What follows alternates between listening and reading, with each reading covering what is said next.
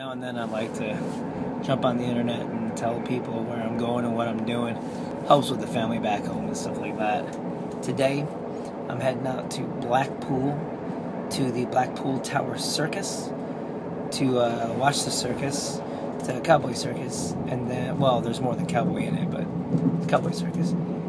And um, I'm meeting up with a fella named Gary Brophy. He held the Guinness record for cracking the world's longest whip some time ago, and we've got all sorts of stuff to talk about, like knife throwing and rope spinning, and gun twirling and whip cracking. So uh, yeah, if you want to learn, you got to find who the best is. Go talk to him. Oh, time for me to go. Take it easy.